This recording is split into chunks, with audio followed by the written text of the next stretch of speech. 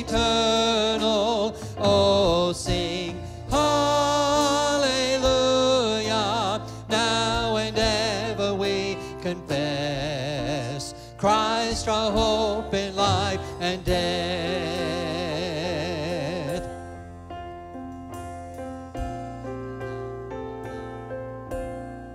What truth can calm the troubled soul? God is good, God is good. Where is His grace and goodness known?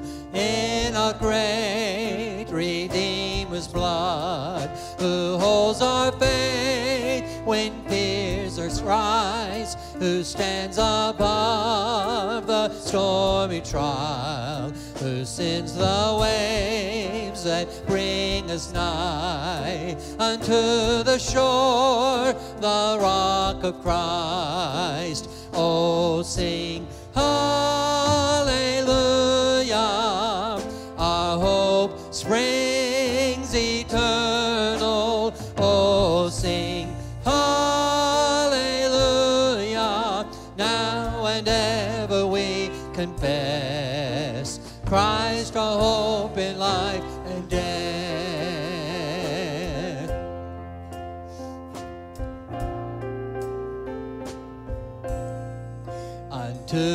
grave, what will we sing?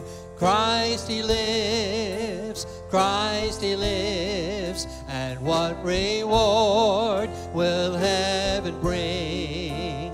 Everlasting life with him, there we will rise to meet the Lord, then sin and death will be destroyed, we will feast in endless joy when Christ is ours forevermore.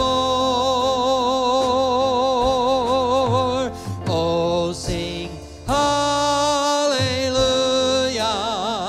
Our hope springs eternal. Oh, sing hallelujah.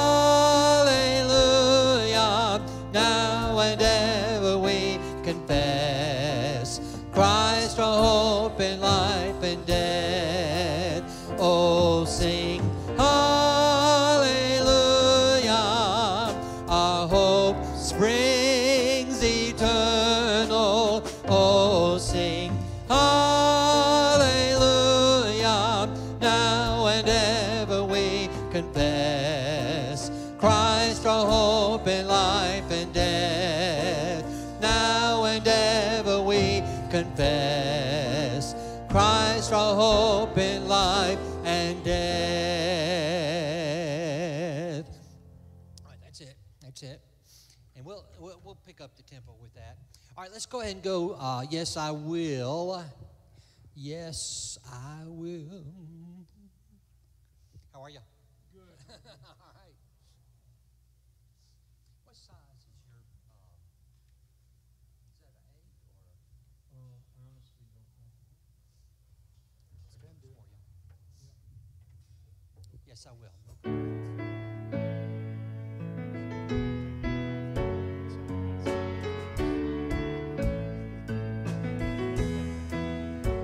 I count on one thing. The same God that never fails, it will not fail me now. You won't fail me now in the waiting. The same God who's never late is working all things out. You're working all things out. Yes, I will lift you high in the lowest valley. Yes, I will bless your name.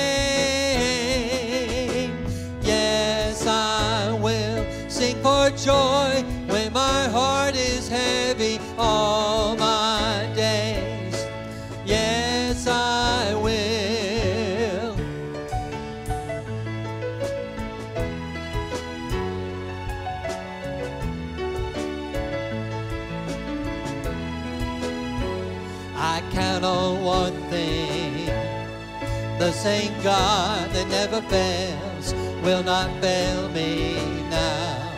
You won't fail me now in the waiting. The same God who never is late is working all things out. You're working all things out.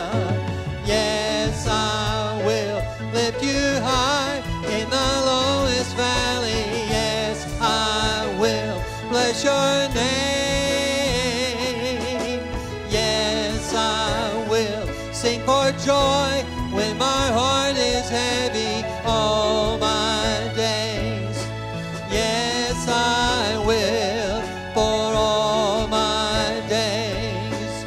Yes, I will. I choose to praise, to glorify, glorify the name of all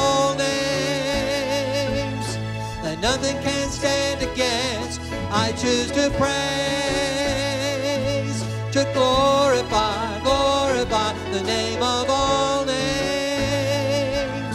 that nothing can stand against. I choose to praise,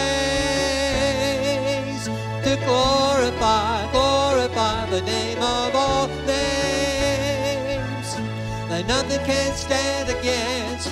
I choose to praise, glorify, glorify the name of all names that nothing can stand against.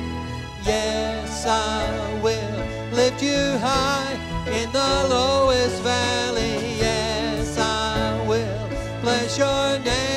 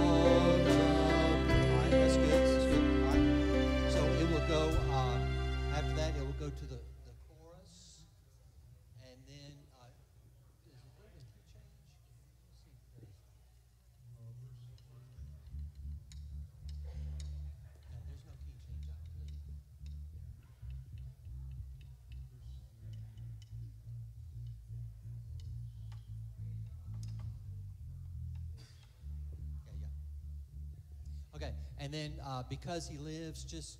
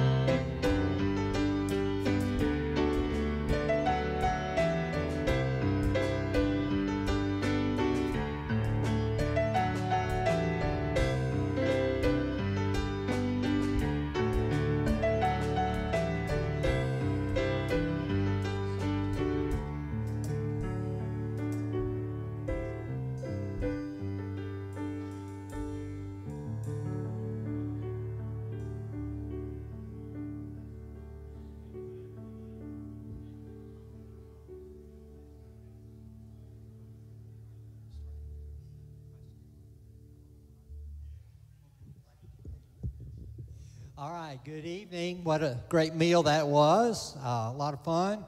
Uh, and uh, but now let's stand and, and uh, tell you what. Take a moment to say hello to some folks around you if you hadn't already done that, and uh, encourage some people around you. Okay. Hello, folks. Everybody good?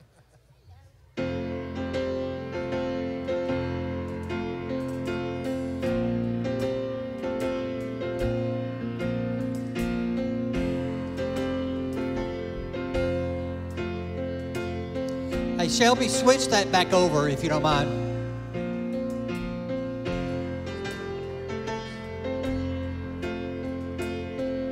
Click it one more time.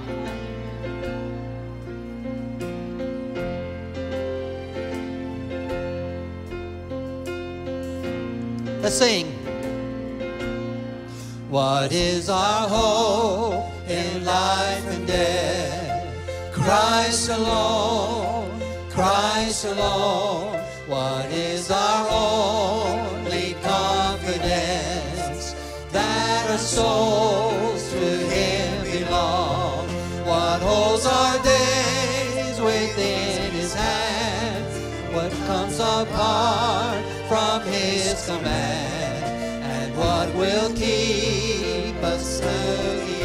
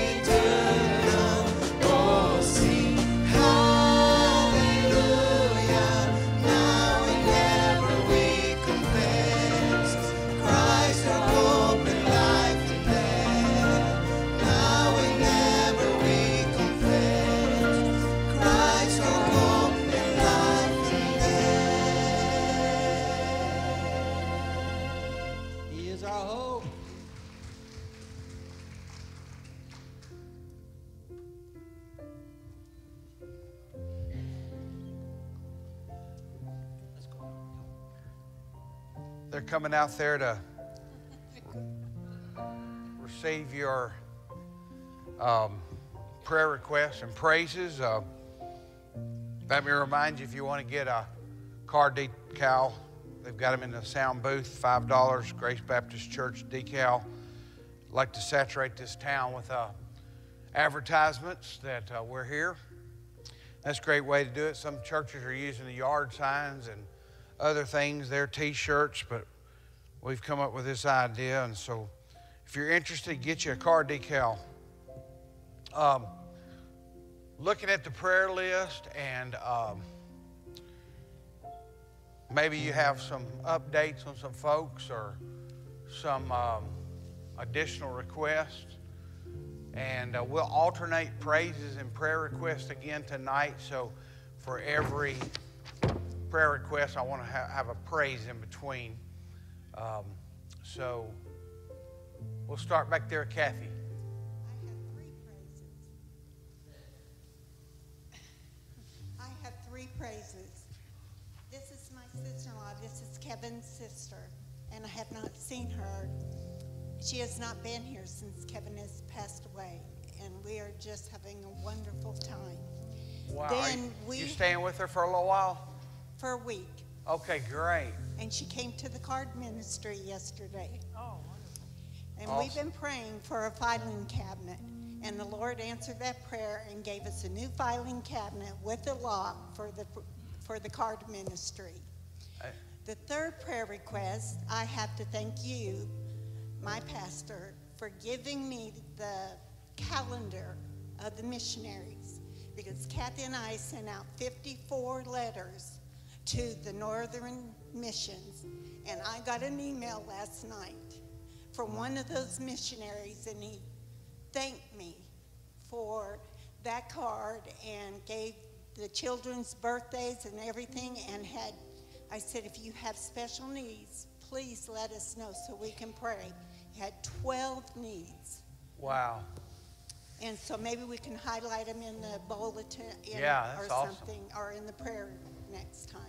We have a missionary check, uh, calendar, and I gave that to Kathy for the card ministry. And if y'all didn't hear what she said, they sent out 54 letters to our missionaries, and one of them has already responded, thanking them for encouraging them with a letter. So that's awesome. Praise the Lord. Thank y'all for doing that. It means so very much to them, I know. I got prayer requests for a friend of ours from when I was um, stationed in uh, Knob Noster, Missouri. Her name is Wendy Bazanga. She's already a cancer survivor. She had a stroke the day before yesterday. Um, she's only 48, but because of all the prayers, God has heard us and praise the Lord. She's been moved out of ICU. Her, she's not going to have to have a stent in her neck, and she has recovered all her speech and is recovering um, strength on her right side. So prayer and a praise. Praise the Lord, yeah. Have a prayer request. I go for a um, follow-up mammogram from the biopsy that I had done in July this Friday. So I would appreciate prayers for that, please. Is that routine or is that? No, it was, I had a questionable mammogram this summer, and they did a biopsy, and the findings were benign, um, but they did want to follow up with it just to make sure that everything was stable and still looked that way. So um, that- that is Friday morning at 10:30. Let's pray for Jessica Friday morning as she goes for that test. Okay. Just uh, praise that I'm through with chemo and feeling much better, and I'll start radiation tomorrow for 25 days. Every, every, every You day. driving? I cannot drive yet. Well, we're glad you're here. Glad you're feeling a little bit So, better. do you need people to take you around? Do you, would that be helpful? You got enough people to help? All right. Well, if you if you run short, if y'all, if anyone wants to drive him around, or drive him crazy, one. Brother Tim, they have changed the date on Ernie's surgery. He took he took his pre-op test and his sugar was too high, and doctor um, uh, won't the doctor won't do it if it's if it's too high. So he's got to get his A1C down before December 6th. So y'all pray for him. It's tough. They, they push it till when? December 6th? December 6th. He's not a happy camper, so But anyway, uh, I have a prayer request uh, for Joe Bowman, family of Joe Bowman. He's got cancer. He's a uh, he's a classmate of Brenda Brenda Wells and and and mine and and Doug's and and he's they're struggling and um, but uh, it's a brain type of brain cancer. So just keep his wife Claudia and him in, in y'all's prayers.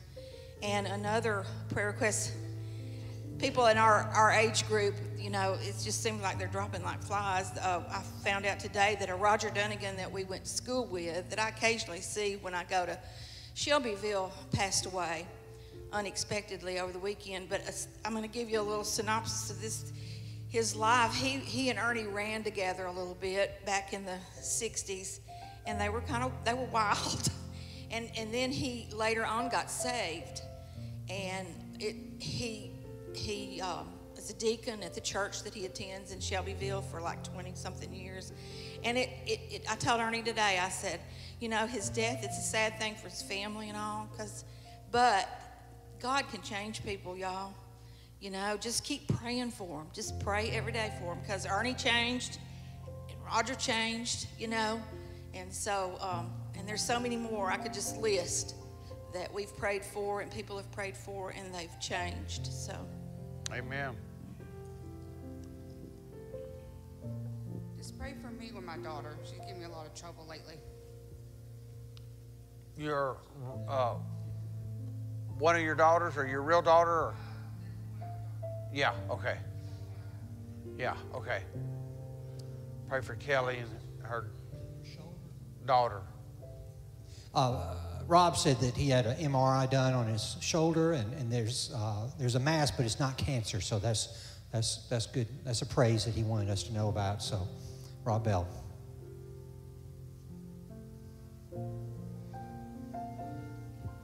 Praise the Lord for Calvin and Linda joining Sunday. Amen. Calvin's up here playing. Linda's right there on the third row. Glad to have them. Um, I've got a praise. Our my, mine and Matthew, one of our nieces that's Millie Miles' age, um, I think we have mentioned before her growth plate. She was having issues with her growth plate. Um, that they went back to the doctor today, and it was totally good news. Um, it was a second opinion. I don't know how to explain it all, but she's not going to need those two surgeries that we thought she was going to need. Oh, so great. it's a huge, huge praise. Great. Amen.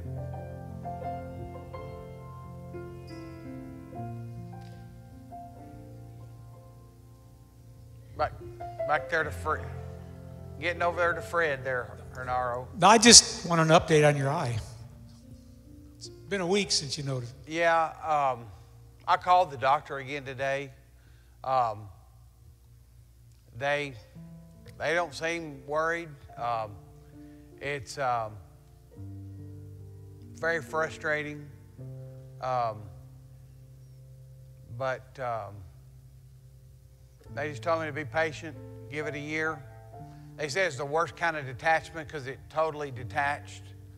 Um, and um, they said it's a miracle that I'm seeing as well as I am right now, so I didn't realize that. But um, they said I'll have ups and downs for the next year. Um, I think the drops might be irritating my eyes because they they stay red and itchy and kind of uh, bother me there, but um, and water a lot. And she said that's all part of it. So anyway, thanks for asking.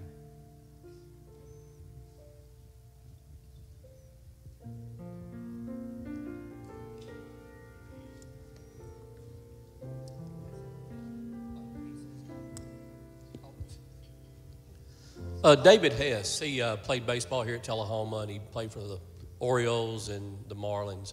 He's got cancer.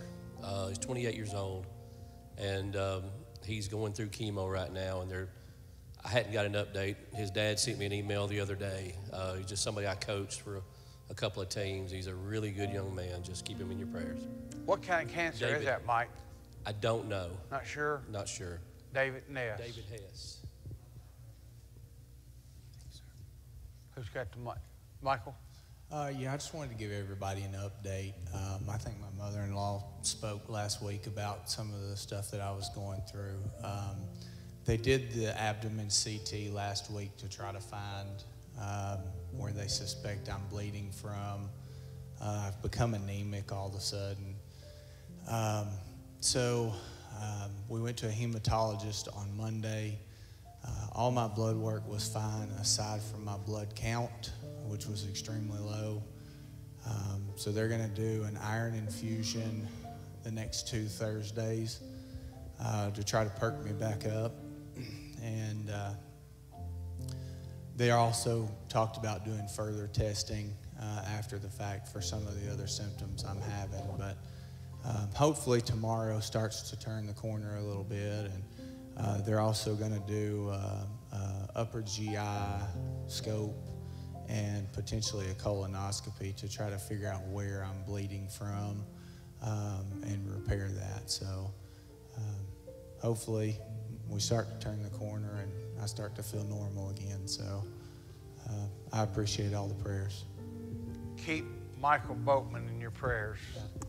Your inspiration just to be around, you know, because you, you felt bad as bad as you do, but you're going to be Iron Man after the next couple of Thursdays, right? Brother Tim, I just want to thank the church for the prayers for Jonathan. We do have a little progress, and uh, he is home. Um, got a long way to go, but uh, I do appreciate the, ch- the prayers of the church. I've been going through a little junk, shall I say, over the past few weeks. So I begun to ask the Lord what was going on. And here's what I came up with, impressed with, in the middle of the night that the enemy will use anything to quiet our praise of the Lord, and he will use anything or anyone to hinder our witness for the Lord or to destroy our witness for the Lord. So it behooves us to be careful. Thank you. Amen. Continue to remember Jonathan Smith. Great crowd tonight. Praise the Lord for that. Amen. Yeah. Hey, folks, I, I, want you to be uh, prayerful for the associational revival. Shelby, if you can find that slide in the in the announcements section in the rolling announcements there. Um, this, to me, this is an opportunity to have like a spectacular Sunday type experience with uh, with Michael Catt preaching, and uh, and but be able to uh, instead of uh, having a different speaker over several uh, weeks it's, uh, it's the same speaker, but different churches and different music. So the first night will be over at, at First Baptist Manchester. Uh, Todd Green will be leading the music there. And, and then the second night will be here at Grace. And then the third uh, night on Tuesday night will be at Oaklawn in Winchester. So, I mean, this is a great opportunity here. Fantastic speakers. So, um, spectacular Sundays level type uh, preacher. So, so don't miss that, miss that opportunity uh, to be a part of those things. Encourage your friends to go and be part of it too. You might have friends in different parts of the of the uh, of those uh, of the association there that, in those towns, and and uh, it's it's gonna be worth it. And again, to remind you that Michael Catt was the pastor of Sherwood Baptist Church that made all those wonderful Christian movies and produced them. And he's now retired, and he is uh, available to do revivals and other things. So we're very fortunate to be able to get him to come to our association. And Brother Mark, rather than one church hosting all three nights, he, he moved it around. Um, once in Manchester, once in Tullahoma, and once in Winchester. Aaron? Yeah, I just wanted to say one thing just by what several people have talked about already tonight about how people can change and how the devil does come to take things away from us. And, and through just listening to everybody, and we've got Iron Man going to be here, and then we've got Radiation Man over here. He's going to be glowing for the next couple of weeks. And a lot of you all, and probably none of you other than Mr. Waller here tonight knows a lot about Shauna and I's story. But we went through a program a year and a half ago, and a person that spoke gave her testimony over 50 years worth of an addiction problem. And the verse that she continued her entire time talking about her testimony was John 10 10. And she kept over and over the thief comes to only steal and kill and destroy. And she repeated that verse, what, babe? About 50 times. I mean, and just over and over again. But one of the messages that we listen to every morning, we, we listen to a certain speaker every morning on our way in when our, our devotion, and it just laid on my heart one day, and I kept saying it over and over again. I was like, John 10 10, the thief comes to steal, kill, and destroy. And folks, I'm not a new Christian. I'm on this side of my salvation, but I've been in church my entire life.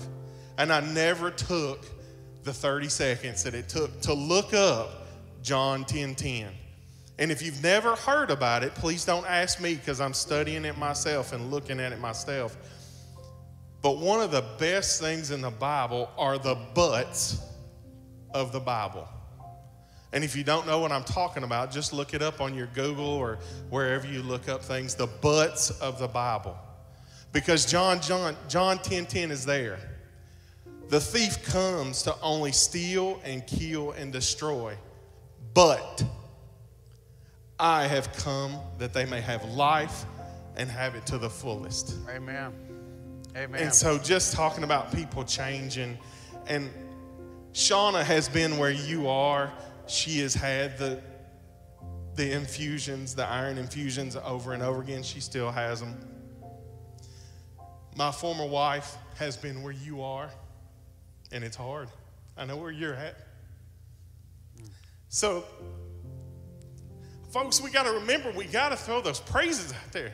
Amen. The praises have got to be there because we will fall right into the middle of doom and despair, just like everybody else out there that doesn't have Jesus or doesn't know Jesus, or maybe even does know Jesus, but they've fallen into that hole. Amen. And we as a church family will fall right there with them if we just sit in this house of God every Wednesday and talk about how the devil comes to steal, kill, and destroy. Amen. But I have come to give life and give it more abundant. Amen. Amen. Thank you.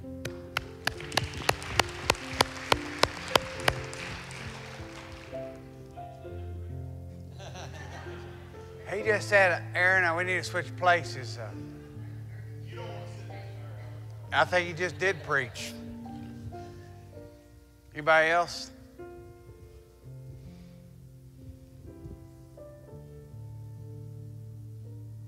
Let's, Bob. Okay, somebody over here. John. Uh, I've got a praise report. Uh, Shonda Nix, she's my nephew's wife. I think she's about 43, 44. She's been fighting cancer for 13 years, and it hadn't been easy. Uh, started out with breast cancer, went to bone cancer, went to brain cancer. She's gone through every test. She's done everything that there is to do. She's even gone through experimental tests. And, and the other day they were checking her markers, and her markers are lower than they've ever been in 13 years. She's not cancer free, but she's a lot better off today than she was. Thank Wow. you. Bob. I'd just like to praise the Lord for his goodness and his mercy. I'd, I'd like to, usually I brag on my wife, but I'd like to brag on, on you and the other pastors that we have. It's just awesome. Uh, Sunday was such an awesome Sunday with uh, your message and then the way uh, Pastor Michael brought the music in to just come right alongside of it. What a blessing. And then the, the number that the choir did, awesome. Just I just want to thank you all for your ministry and, and uh, AP with his music, doing the piano and all the in- instrumentalists. It- it- we're just so blessed, and I just thank God for, for each and every one of you. I can't thank you enough and can't thank God enough.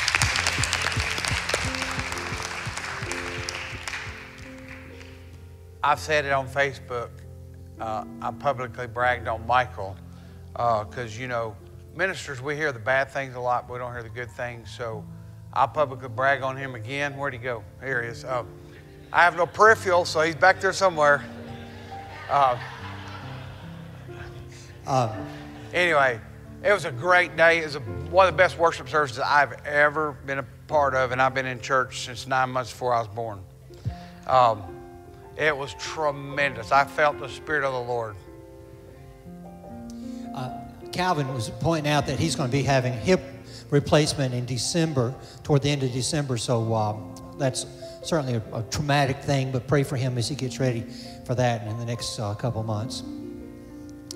All right, singers, y'all come on back up, and I think we're going to head on toward our time of prayer.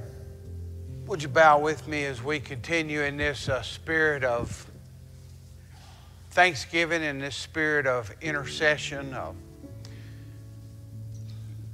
God, we know that, that prayer and praise scare the dickens out of the devil. The devil doesn't care if we just show up and have worship. Because churches and people do that week after week after week and nothing happens. The devil doesn't care if we show up and come to Sunday school and hang around for worship and then we go and go about our little duties and our weekly schedule. But it scares him when God's people pray. It scares him when God's people lift the roof off with praises. And so, Lord, we, we know that we experienced a tremendous day of worship Sunday. We indeed reached a great crescendo, and the Spirit was evident. We could feel you present, Lord. We know that you are pleased and we, we offered up that sweet aroma of adoration and praise and thanksgiving to you during our time of worship and during the time of the preaching of your word. We know we didn't see a whole lot of fruit. Uh, we do thank you for those two that joined our church, and we know that uh, many more should have come and could have come, but they didn't. But uh, I know that uh, the seeds were planted, and I know that the harvest will come. We may be in a planting stage right now, we may be in a watering stage right now, but we know that your word is true, that the harvest will come.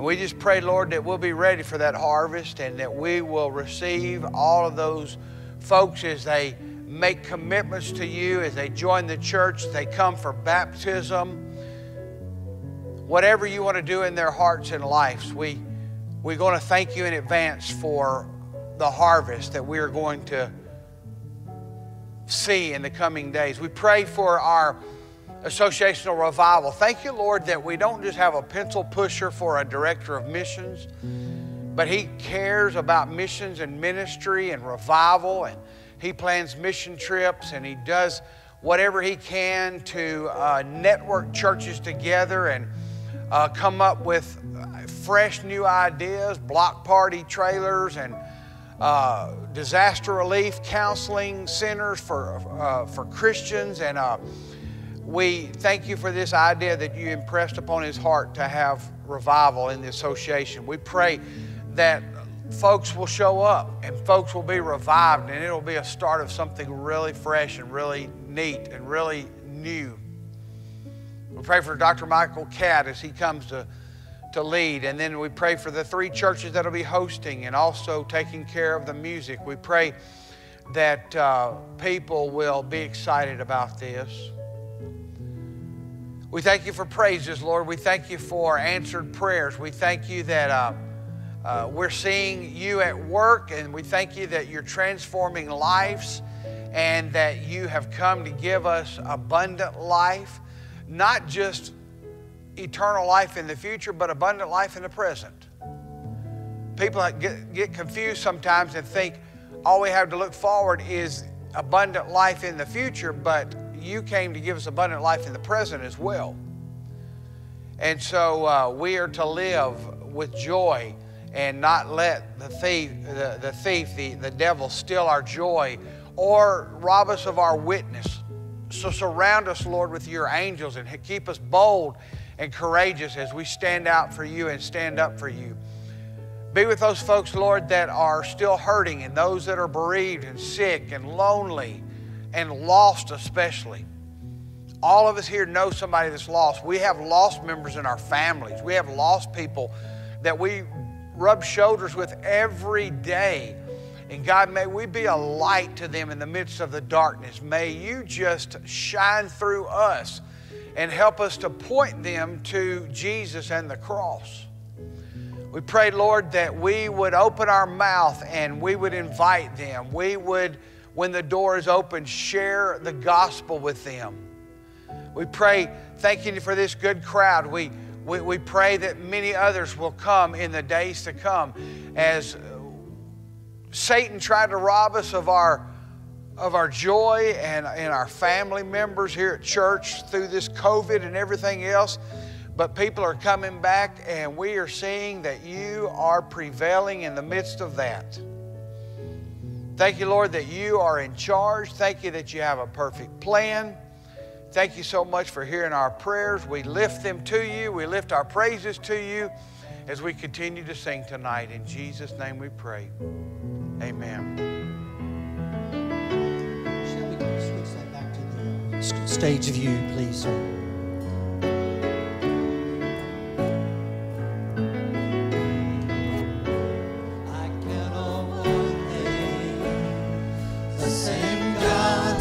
Working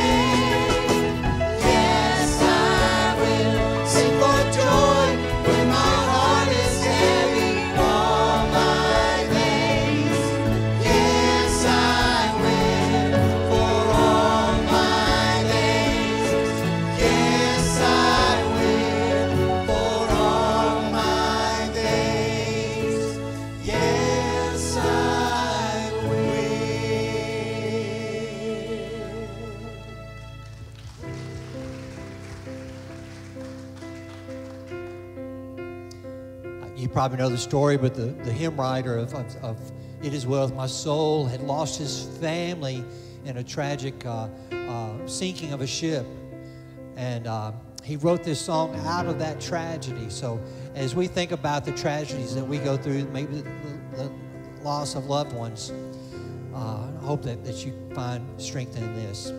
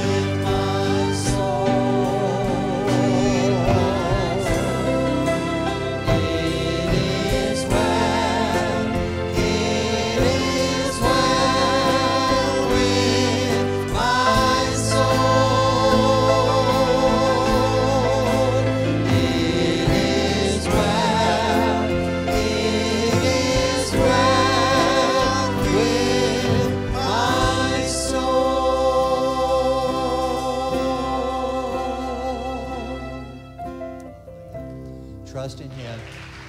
Trust in Him.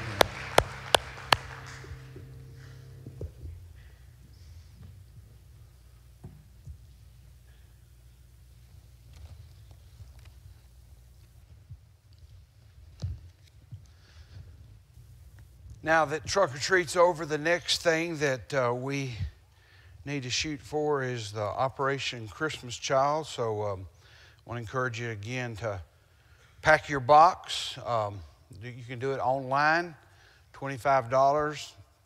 And as Kim shared Sunday, it's a blessing if you will do that yourself, but If for some reason you're not able to do that on the computer yourself, then uh, we'll be glad to do that for you here in the office. A Baptist preacher was visiting in one of his church members' homes when all of a sudden the 10 year old son ran in with a dead rat. He proudly showed this dead rat to his mother, and as she shrank in horror, he attempted to reassure her Don't worry, Mama, it's dead. We beat him with a baseball bat, I shot him with a BB gun, and we stomped him, and he's deader than dead. And then about that time, that boy turned around and saw his preacher sitting in the living room, and he said, And then the good Lord called him home. well, last Wednesday night, we talked about how a Christian is to deal with sickness. And um, we got some ideas from the scriptures about how we are to react and act Tonight, I want to talk about how Christians are to deal with death. The Apostle Paul, under the inspiration of the Holy Spirit, writes these words But I do not want you to be ignorant, brethren, concerning those who have fallen asleep, lest you sorrow as others who have no hope. For if we believe that Jesus died and rose again, even so God will bring with him those who sleep in Jesus. For this we say to you by the word of the Lord that we who are alive and remain until the coming of the Lord will by no means precede those who are asleep. For the Lord himself will descend from heaven with a shout, with the voice of an archangel and with the trumpet of God, and the dead in Christ will rise first. Then we who are alive and remain shall be caught up together with them in the clouds to meet the Lord in the air. And thus we shall always be with the Lord. Therefore, comfort one another with these words. Now, most of the time we, we hear that passage of Scripture and we talk about the second coming. Tonight, I want us to think about that passage of Scripture in light of how we are to deal with death. Now, none of us like to talk about death. None of us like to think about death because we just simply don't like death. I mean, I've heard of wedding crashers, people that go to weddings just for the food and just for the party, but I don't really think there's a lot of people out there that are funeral crashers that just go to a funeral just to say they went to a funeral. It's like in the movie Forrest Gump. He said, Mama always said dying was a part of life, but I sure wish it wasn't. Of all the tasks that I perform, one of the most difficult, one of the, the, the, the toughest tasks that I perform is funerals. I don't enjoy preaching funerals. I don't like going to funerals, and you don't either. We don't like to bury our loved ones. We don't like to bury our friends. We don't like to think about death. And I can't help but think about what Woody Allen, the comedian, said. He said, I know I'm going to die someday. I just don't want to be there when it happens. That's kind of the way we feel, right? We, we know we're going to die. We just don't want to be there when it happens. None of us like death. But yet, every day we have to deal with it, don't we? Every day, People that we know and love walk through the turnstile into eternity. Every newspaper has an obituary section. Every funeral director stays busy. Caskets are constantly being made. Graves are constantly being dug. Cremations are constantly being uh, taking place. Everywhere we turn, death stalks the land. Disease kills in spite of all the advance of modern medicine, accidents, heart attacks, cancer, stroke, COVID, robs us of our family members and our friends. Death is all around us. When Adam and Eve sinned in the Garden of Eden, the death sentence was pronounced upon not only them, but the entire human race. And so, unfortunately, death is something that we all have to deal with. It is inevitable and it is impartial. It is coming to us all. Death is no respecter of persons, it is no respecter of position, power, possessions, or prestige. But the Bible affirms that death is not the end. Like the old Garth, uh, like the old Brooks and Dunn song, tell me, does it all end in a slow ride in a hearse? No. There's more after death, right? There's a, a heaven to gain and a hell to shun. And I want you to look at verse 13. It says, But I do not want you to be ignorant, brethren, concerning those who have fallen asleep, lest you sorrow as others who have no hope. Now, here the Apostle Paul likens death to falling asleep. He says uh, that, that hey, I don't want you to be ignorant, brethren, concerning them that fall asleep, those who are asleep. The Greek word is komeoi, komeoi. And, and we get our English words coma, we get our English words comatose, and our English word cemetery from this here Greek word. You see, Paul is reminding us that, that we struggle and we strain and we worry and we fret every day and we get tired and we get burned out and we get worn out, but then God puts us to sleep for a little while and then we wake up in glory. Elizabeth Barrett Browning said her favorite verse in the Bible was Psalm 127 2. God giveth his beloved sleep. When Paul said, I would not have you to be ignorant concerning them which are amea, that is the same word that Jesus used in John chapter 11 when he said that our friend Lazarus just sleeps. But he said, I'm going to wake him up. And so you see, for a Christian, death is a form of sleep, right? Those who study our reactions to death say that we deal with death in five stages. First of all, we're in shock. As soon as we, we hear about somebody dying, we are in shock. I can't believe he's gone. I can't believe she's gone. We're just in shock, right? The second stage we go through is denial. I don't believe she's really dead. I, I, I think this is a bad dream. Somebody wake me up. We're in shock, then we're in denial, and then we get angry. Why did she die? Why did God take him from me? And then we become depressed and sad and lonely. And then finally, at some point, we have to accept it and move on with our lives the best we can. And knowing these grief stages will help us to understand our emotional swings and our mood changes. So, how is a Christian supposed to deal with death? Well, the scripture tells us there are three secrets, okay? The first thing, the first way we should deal with death is we should respond with tears. Now, some of you are saying, no kidding, Pastor. Tell me something I don't know. But it's not that simple. In our society today, people aren't given permission to cry. Do you realize that? Our society, especially, says that men are not supposed to cry. That is not true. Ecclesiastes chapter 3, verse 4 said, There is a time to weep. Crying does not mean that you are a sissy. I have a friend, and, and John Rickman knows who, I, who he is, Joe Coble. He's one of the most sensitive men that I know. I admire him greatly. He cries and he makes no dibs about it. He, he, he lets it out when, when he gets to the point where he needs to cry. In the Bible, we find Abraham weeping over Sarah's death. We read where Joseph threw himself upon his father, weeping and kissing him when he died. David wept over the deaths of his baby, and Amnon and Abner and Absalom Je- Jesus wept when he found out that Lazarus had died. So it is normal, it is perfectly okay for us to cry when somebody we know dies. It is a part of the healing process. When Kim and I were teenagers, a boy in our youth group committed suicide. We went to the funeral, and after the service, my family went to his house. And his dad greeted us at the door. And his, the dad's first response was to reach out and hug us, and we could see that he was on the verge of tears. And then he caught himself. He, he regained his composure. And it's almost that he told, it was almost like he told himself, it is improper for me to cry, so I've got to suck it up.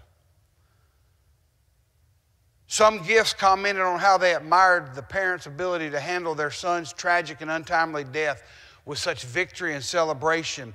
But I left feeling something was missing. That man and his wife were robbed of something. They needed to cry.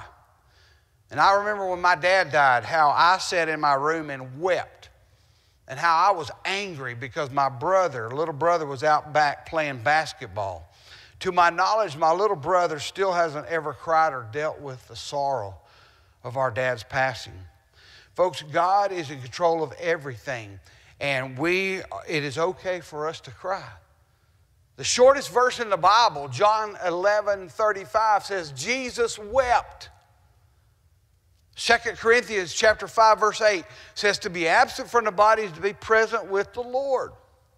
When a Christian dies, we put the body in a casket and we either bury the body or we burn the body, but the real person, the spirit, the soul, has left that worn out body down here and gone up there to be with the Lord. Hallelujah. And when a Christian dies, they go immediately to be with the presence of the Lord. But that does not mean that we are to be cold and callous and without emotion. Christians need to grieve, it's part of the healing process. We need to shed t- tears, but Paul reminds us in our scripture tonight that we do not sorrow as those who have no hope. We shed tears for ourselves because we're selfish. We miss our loved one. We miss our friend. But really, deep down, we're happy for them because we know they're with Jesus. And so, Christians should not feel embarrassed or feel like it's a sin or feel like it's a sign of weakness or feel like they're being a sissy if they cry. We, it is perfectly okay to respond with tears. We should respond with tears. Secondly, we should respond with trust. Our trust is based on Jesus' death, burial, and resurrection. On the words that he himself said in John chapter 14 Let not your heart be troubled. You believe in God, believe also in me. In my Father's house are many mansions. If it were not so, I would have told you. I go to prepare a place for you, and if I go and prepare a place for you, I will come again and receive you to myself, that where I am, there you may be also. Now, when Jesus makes a promise, he keeps it. Amen, church? How many of you believe the Bible and what it says? What does Psalm 23 4 say? Yea, though I walk through the valley of the shadow of death, I will fear no evil, for thou art with me. Notice it says, Yea, though I walk through the valley of the shadow of death. You know, in order for them, there to be a shadow, there's got to be a light, and that means the light uh, Jesus, and the, He is right there with us, right? We don't have to be afraid because our trust is in the Lord. Christians rely on God's revelation, not human speculation. And the scriptures say that Jesus will either come for us or we'll go to be with Him. Either way is fine, right? The biggest difference between Christians and lost people is that Christians know where they're going to spend eternity. We know that we are safe in the arms of Jesus. Lost people have nothing to look forward to except an eternity in a devil's hell. Christians face death by putting their hope and trust in the Lord. Years ago, I was asked to preach a revival at First Baptist Summitville on the other side of Manchester. And uh, I went there to preach the revival. And uh, while I was there preaching that revival Sunday through Wednesday, I met a, a, a wonderful man, an elderly man named Stacy. And uh, Stacy was such a joy to be around. At, in his earlier years, Stacy used to lead the music for that church, but his health wouldn't let him do that anymore. And on Wednesday night, after the revival was over, I'll never forget, he shook my hand and he told me goodbye in, in a unique way. He said, Brother Tim, I don't know if I'll see you here on this earth again, but I know one thing I'll see you in heaven someday. That's the kind of trust that we should respond with when we face death, right? If we are a believer and we know that they were a believer, we should respond with trust and knowing that we shall see them again. Thirdly, we should respond to death with triumph. Jesus is the victor. Jesus is the champion of all champions, right? And death is a time of victory and triumph for Christians. Verse 18 says, Therefore, comfort one another with these words. These verses remind us that death is a triumph. When a Christian dies, they are simply promoted to the heavenly places. I understand when those who serve in the ranks of the Salvation Army die, they are listed not under the headings of death, but under the headings of promotion. They are simply promoted to glory. You see, the Bible assures us that Jesus had defeated the devil's power over death and has set us free from the power and the fear of death. Hebrews 2 and verse 13 says, I will put my trust in him, for everyone thought death could destroy him, but he had the power to conquer death. You see, our triumph has been secured. 1 Corinthians 15, verse 55 and following says, O death, where is your sting? O grave, where is your victory? The sting of death is sin, but thanks be to God who gives us victory through our Lord Jesus Christ. How do Christians respond to death? In the midst of tears, with confident trust, we celebrate because we know we're going to triumph. Jesus has kept his promise. Jesus is reliable. You can count on Jesus. And we know that to be absent from the body is to be present with the Lord, right? There was the Apostle Paul who said, For me to live is Christ, but for me to die is gain. But if I die, it will be my gain. In other words, he said, Death is a graduation day. It's the day that Christians are promoted to heaven. In my first church that I pastored, we had adult one Sunday school class, we had adult two Sunday school class, we had adult three Sunday school class, and we had the adult four Sunday school class. Each of them had an age bracket. They, they, were, uh, they were each um, like 30 to 45 year olds, and then 46 to 50 year olds, 55 year olds, whatever. But that's, that adult four class, was 65 to heaven. 65 to heaven. Because someday they knew they were going to be promoted to heaven, right? When Hellam Funeral Home in Murfreesboro burned down several years ago, J.C. Hellam rebuilt the business with a drive through viewing window. I don't know why he did it, said Wendy Hellam, his daughter, who took over the family business after her father died, but he had a vision for the future. The funeral home's drive through service allows motorists to view bodies without getting out of their cars. Families stand outside the viewing window like she is right here, and they greet visitors as they drive through, just like you do uh, at a fast food joint. It works very well, says Newman, who says Hellam is the only funeral home in Murfreesboro to offer this kind of service. Hellam Funeral Home is trying to provide an alternative for people who don't want to get close to death. But even the convenience of a drive through window cannot take the sting out of death. Only the victory of the empty tomb can enable us to say, Oh, death, where is thy sting? Oh, grave, where is thy victory? The sting of death is sin, but thanks be to God who has given us victory through our Lord Jesus Christ.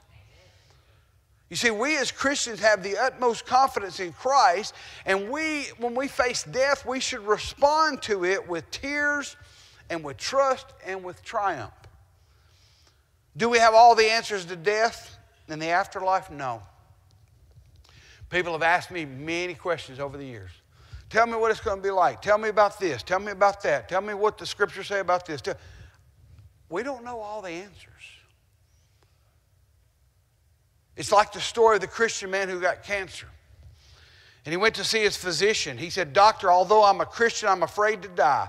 I don't know what's going to happen to me when I die. He said, Could you tell me what is going to happen? The Christian doctor thought for a moment and he replied, I'm afraid I can't give you an exact answer to that question. As the doctor turned to leave the room, he suddenly heard the sound of scratching and whining on the other side of the door. Suddenly he realized he had left his car window down and his little dog in the car. Apparently, his little pet poodle had jumped out of the car and run and started scratching on the door. With the patient's permission, he let in his pet poodle, who leaped on him with gladness. In a flash, the doctor's mind was awakened to a spiritual truth he had never put before into words. Turning to the sick and dying man, he said, Did you see how my dog just acted? He has never been in this room before. He had no idea what was in here. Yet when I opened the door, he ran in without fear because he knew his master was here. As Christians, we don't know all the details about heaven that await us. We don't know everything there is to know about death, but we know that our master is there, and that should be enough. Pray with me. Father, thank you so much that you have an answer for everything. Whether it's how to deal with worry or depression or anger or sickness or death or any of the other things that we're going to talk about in the days to come, there's an answer right there between those two leather bindings. Thank you that there's a way to respond, a proper way to respond, and that you're teaching us the ways to respond and how to deal with these various things as we're going through this study on Wednesday nights. If we don't currently need this, help us to tuck it away and come back to it someday when we do need it. That we are to respond with tears, we are to respond with trust, we are to respond with triumph. We sorrow not as the world sorrows, but or those that have no hope, because our hope is in you, and you are the resurrection and the life. Even though we may die, we shall live forever. If our faith and trust is in you, we shall live on and on and on and on with you in heaven. That's what we got to look forward to. That's why we got to get out there and share the message with those that we love and care about so that they can be there in eternity as well. In Jesus' name we pray. Amen.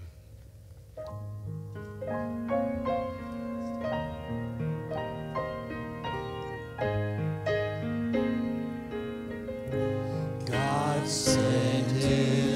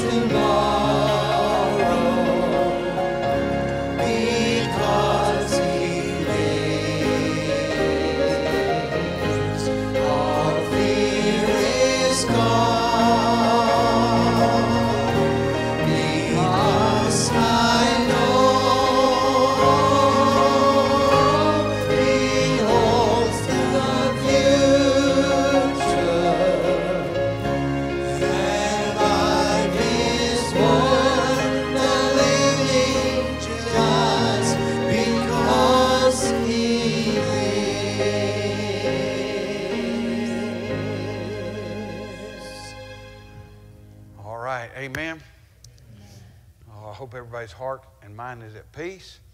And uh, may the Lord bless you. The choir's going to be practicing. Come to choir. Come to Christmas choir. And uh, Christmas is just around the corner now. And uh, in between there is Thanksgiving. So, again, don't forget to uh, pack a shoebox for some child. Make it their, make their Christmas very, very special, okay? Thank y'all for being here tonight.